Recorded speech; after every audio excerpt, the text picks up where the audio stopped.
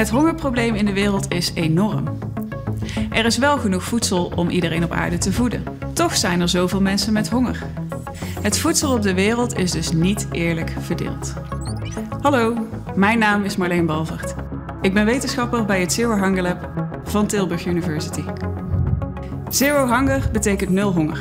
Wij bedenken met wiskunde allerlei oplossingen om honger op de wereld te helpen verminderen.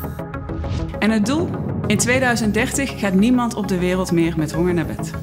Het Zero Hunger Lab is niet de enige die dit wil. Bijna alle landen in de wereld hebben beloofd zich in te zetten voor nul honger.